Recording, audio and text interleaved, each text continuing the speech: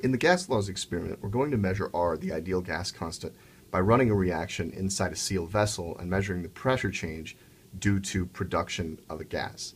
So we can get the moles of gas from stoichiometry, and the volume and temperature need to be controlled. So think carefully about how the experimental apparatus you choose to use controls temperature and the volume of the gas as much as possible, and think about what the volume actually would be. I want to talk in this video a little bit about the tools you have at your disposal to do this. So one that I'll briefly mention is a water bath. You can run the reaction in a water bath to help minimize changes in temperature due to the reaction being exo or endothermic. You should run the actual reaction inside a 125 ml Erlenmeyer flask.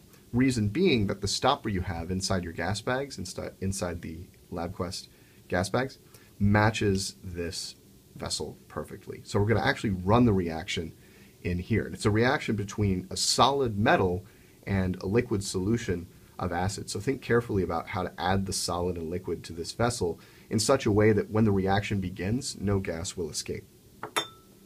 This stopper is a little weird. It's got three holes in the top, but only two of them are open. One of them is sealed off. No idea why this is the case, but who knows, probably some weird manufacturing thing.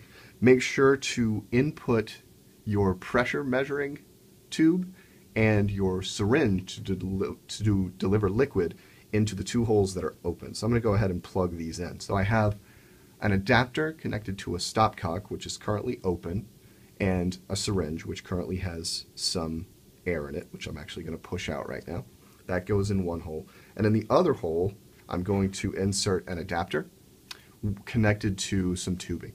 This is ultimately going to go to our pressure gauge. The reason uh, we need to use the tubing instead of just directly connecting the pressure gauge here is because there's just not enough space on the stopper to fit both of those. So I'm double checking that yes, this is the hole, in fact, that uh, is sealed off. And I've got adapters in the other two holes here and here. So I'm ready to hook this up to my Erlenmeyer flask just to demonstrate kind of what the apparatus is going to look like here. And then I'm going to connect this to my pressure gauge. So now, once I close off the stopcock here, once I close off the stopcock, I've got a system that is sealed for which the pressure is being measured right here. So we're measuring the pressure at the end of this tubing, and I've got a sealed system that includes both the space of the Erlenmeyer flask and the tubing volume, right? Before going to add the liquid acid solution and beginning the reaction, it can be helpful to evacuate some air from the flask or remove some air from the flask. To do this, you can open the system to the air, pull out some air. This increases the volume of the system, right, since I'm pulling back on the syringe plunger, and then close off the stopcock with the plunger still pulled back. You can actually see that the pressure has decreased. This is going to lead to a more pronounced pressure increase um, when you add the solution to the metal and start the reaction and it's going to minimize the chances that, for example, the stopper pops off when the gas is generated.